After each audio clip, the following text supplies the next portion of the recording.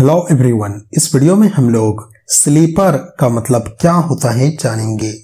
Sleeper का मतलब होता है चप्पल, हवाई चप्पल, ढीला जूता, बेतला जूता।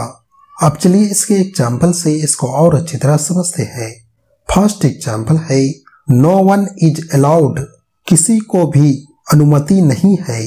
टू इंटर द लेबोरेटरी प्रयोगशाला में प्रवेश की वियरिंग स्लीपर्स चप्पल पहनकर तो पूरे सेंटेंस का मतलब हुआ, किसी को भी चप्पल पहनकर प्रयोगशाला में प्रवेश की अनुमति नहीं है।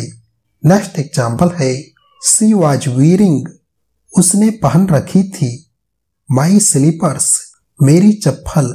तो पूरे सेंटेंस का मतलब हुआ, उसने मेरी चप्पल पहन रखी थी